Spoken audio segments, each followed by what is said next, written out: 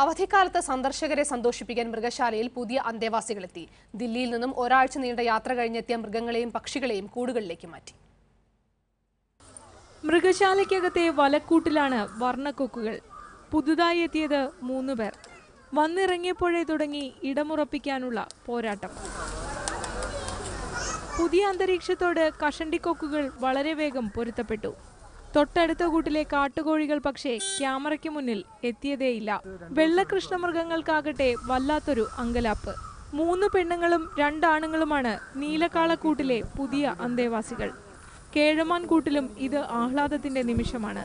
മൃഗശാലയിലെ കേഴമാന് കൂട്ടായി മൂന്ന് പേർ കൂടി. നീണ്ട ഒരു യാത്രയ്ക്ക് ശേഷം അവർ കൂടുകളിലായിരുന്നു ഒരാഴ്ചത്തോളം സമയം. അപ്പോൾ അതിന്റെ ഓപ്പണായിട്ടുള്ള കൂടിലേക്ക് വിട്ടേക്കാണ്. അപ്പോൾ എന്തായാലും കൂടിനകത്ത് വളരെ ശാന്തമായിട്ട് ഇന്നിപ്പോൾ ആഹാരവും വെള്ളവും എല്ലാം കഴിച്ചിട്ടുണ്ട്. എന്നാലും ഒരു മാസത്തേക്ക് ഇവരുടെ ഒരു നിരീക്ഷണ സമയമാണ്. തീർന്നില്ല വിശേഷം. നീലക്കാളയും കൃഷ്ണമൃഗവും കുഞ്ഞിനെ കാത്തിരിക്കുകയാണ്. ഡൽഹി മൃഗശാലയിൽ നിന്ന് വെള്ളക്കടുവയും അടുത്തയാഴ്ച വിമാനമിറങ്ങും. ഏഷ്യാനെറ്റ് ന്യൂസ് തിരുവനന്തപുരം.